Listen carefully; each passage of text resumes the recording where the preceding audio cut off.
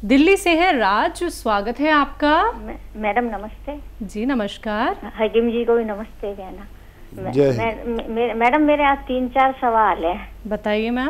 पहले तो मेरे जलन बहुत हो रही है दस पंद्रह दिन से छाती में बहुत जलन है। मतलब ठंडा दूध ले लेती हूँ तो दस मिनट बंद हो जाएगी फिर जलन हो जाएगी। ठीक है। तो मैं ना गौनसिया ले रही थी मतलब पहले दो डेढ़ चुटकी मतलब लेती हूँ दो टाइम और एक गैस का पाउडर बनवाया था। हकीम जी ने वो आंवला 200 ग्राम आंवला और जी मेथी आंवला मेथी धनिया सौंफ और वो हम्म। क्या कहते हैं जैतून का नमक मिला के। हम्म। पता नहीं मेरे जलन क्यों हो रही है। दूसरी बात यह है कि मेरे दर्द तीस साल की उम्र से है। अब मैं छियासठ साल की हूँ।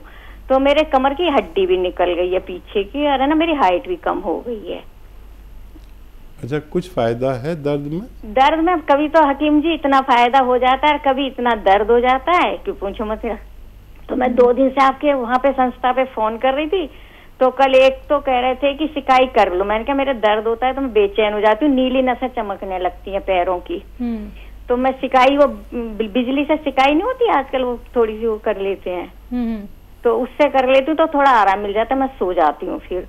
तो वो कहने कर लो। फिर कल मैंने शाम को फ़ोन करा मेरे जलन बहुत है हकीम जी बहुत ज़्यादा जलन है। इस टाइम भी मेरा बहुत जलन हो रही है यार। तो क्या कहते हैं वो कहने लगे कि हकीम जी के पास तुम्हारी फ़ाइल है उन्होंने तुम्हारे लिए दवाई बनवा दी है। मतलब तो तुम्हारा घर जाने वाली है दवाई तो एड्रेस दे दो। हम्म। कि हकीम जी ने आपकी फ़ाइल देखी थी तो वो कह रहे ना आराम नहीं है इन्हें दवाई बढ़ा दो कोई पता नहीं आर भी वर्मा थे कोई। आरपी वर्मा या पता नहीं आर भी वर्मा ऐसे ही थे कोई। ठीक है ठीक है। हाँ तो मतलब मेरे जलन बहुत है। थोड़ा बताओ क्या मैं पॉटी के लिए मैंने आपसे कही थी मुझे मॉर्निंग में मेरा पेट साफ़ नहीं होता। चौबीस घंटे में कभी भी हो जाता है। हालाँकि मैंने आरंडी का तेल भी पी रही लेती हूँ हफ़्ते में एक बार।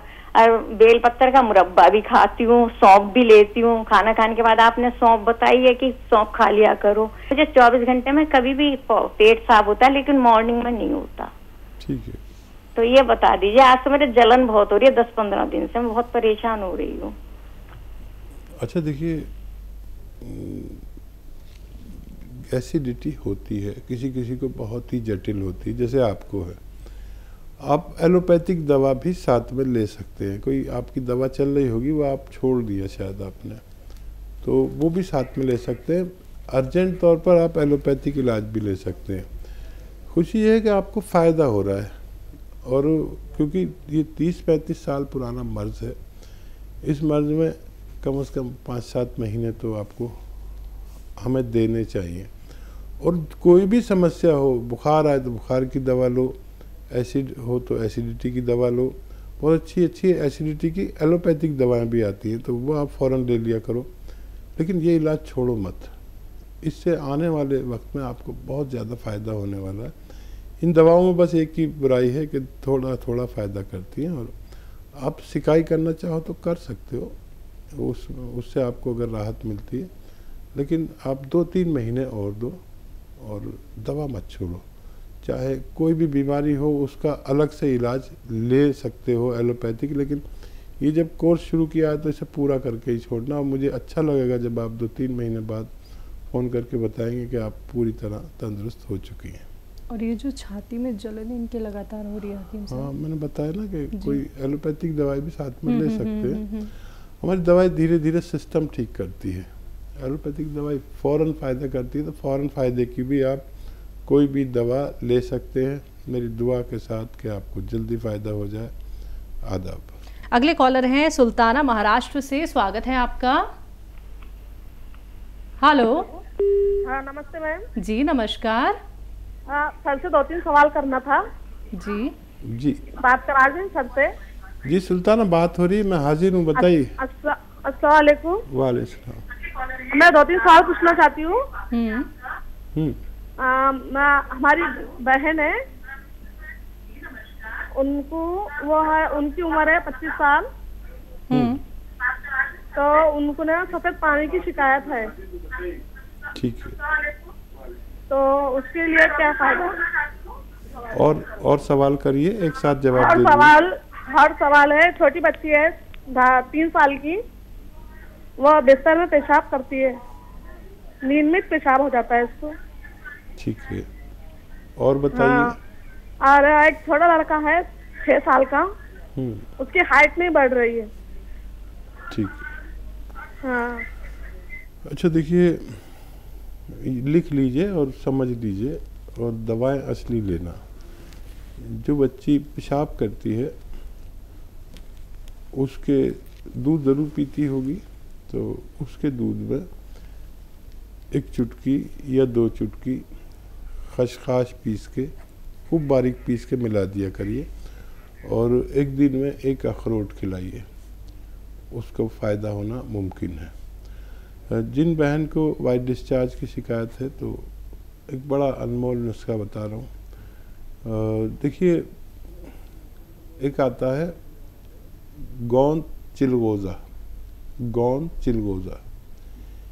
ये महिला, महिलाओं के लिए बहुत ज़्यादा फ़ायदेमंद साबित होता है, पुरुषों के लिए भी। जिनको भी सफ़ेद पानी, सैलान या जरियान मर्दों को भी होता है ये। तो ये गोंद चिलगोज़ा एक रॉ मटेरियल है, कच्ची दवा है।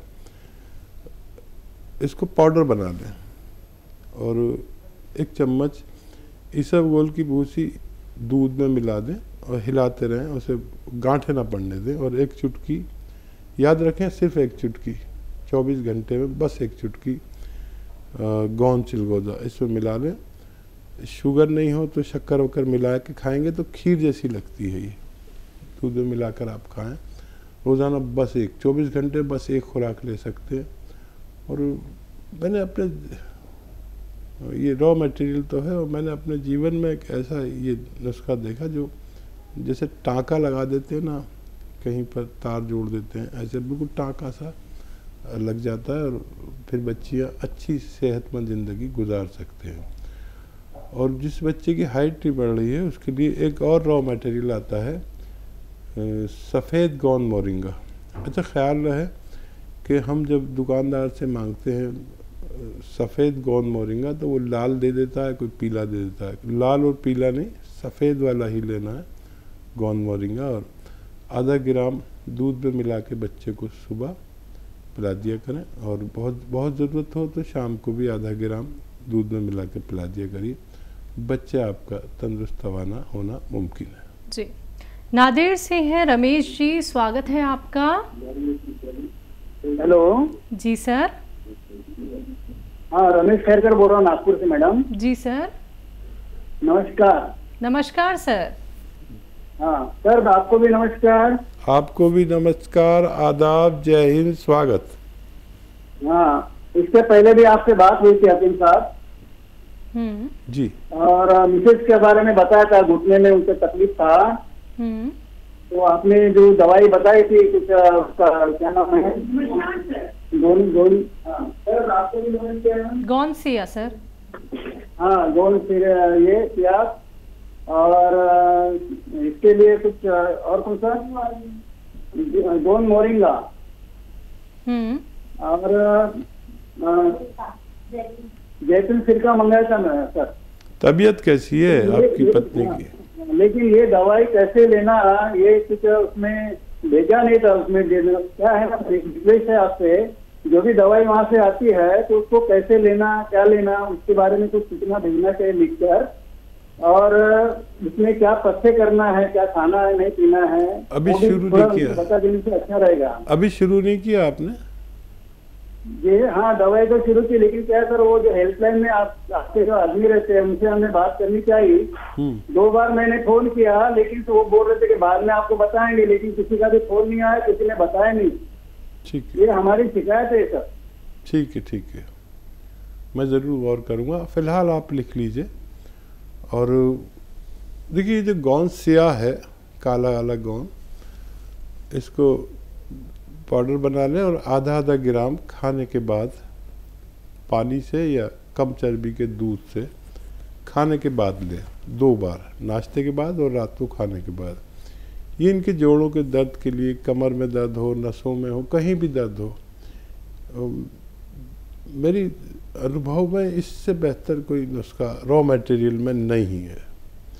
आप इन्हें देना शुरू करें। आधा आधा ग्राम गोंद सिया गोंद मोरिंगा एक ग्राम बस लेते हैं, एक साथ भी ले सकते हैं। और ये पानी में मिलाकर दूध में मिलाकर थोड़े से या नारियल पानी के साथ, जैसे आपके हालात हैं, आप ले सकते हैं। बस एक बार, एक ग्राम। जो बालिग लोग हैं, यानी जो 18 20 22 साल से ज़्यादा के हैं, वो एक ग्राम ले सकते हैं रोज़ाना। और जैतून का सिरका अपनी ज़रूरत के मुताबिक एक बार या दो बार, दो दो चम्मच पीना बेहतर है खाने के बाद पीना बेहतर है। जी। रेखा कोतवानी जी जुड़ गई हैं हमारे साथ। स्वागत है आपका। हेलो। जी। हेलो। बताइए मैम। हाँ मैं रेखा कोटवानी बोल रही हूँ। और मुझे सलमान खान से बात करनी है सुलेमान साहब से।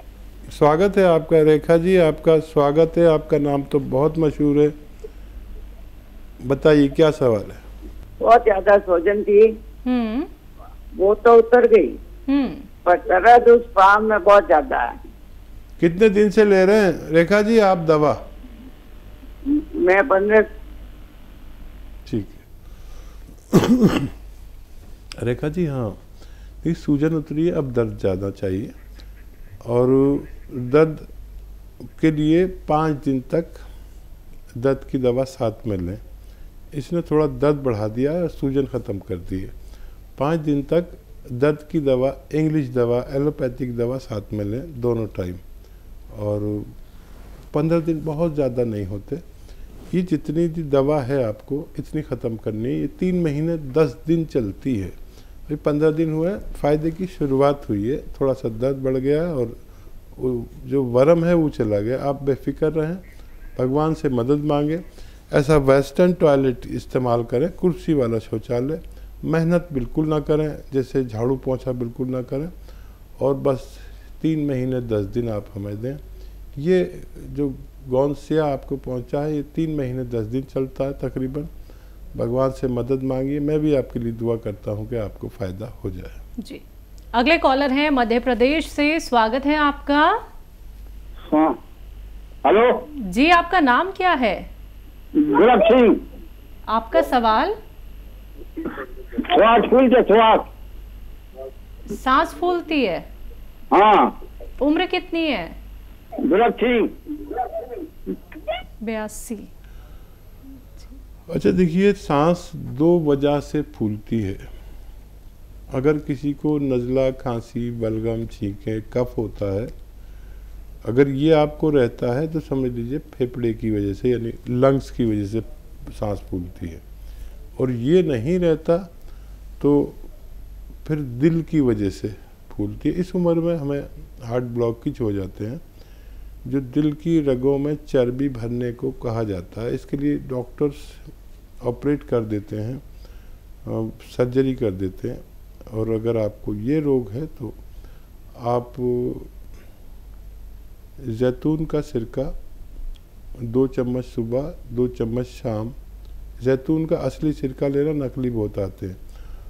और दो दो चम्मच जैतून का सिरका, एक गिलास पानी में डालें और एक चुटकी खाने का सोडा उसमें डालें और सुबह नाश्ते के बाद पी लें और रात को खाने के बाद।